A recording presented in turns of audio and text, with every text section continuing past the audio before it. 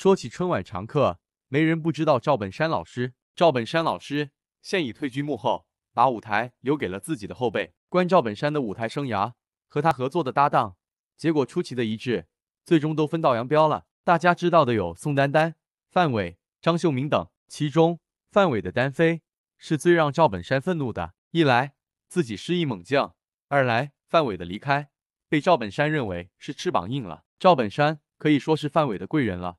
在范伟还默默无名的时候，赵本山已经是春晚的常客。一九九三年，范伟遇到了赵本山，也彻底改变了自己的一生。一九九五年，范伟随赵本山登上春晚的舞台，到卖拐卖车系列小品的诞生，范伟的名头彻底打响。直到一次商演，因为演出费，两人留下嫌隙，最终各走一边。离开赵本山后，范伟开始涉足影视，过硬的表演实力也终让自己成为了足以比肩赵本山的艺术大咖。直到刘老根三范伟的回归，两位大咖才算是握手言和。你看过他们搭档的经典小品吗？你知道铁三角是那三位吗？欢迎大家留言区留言评论，大家下期见。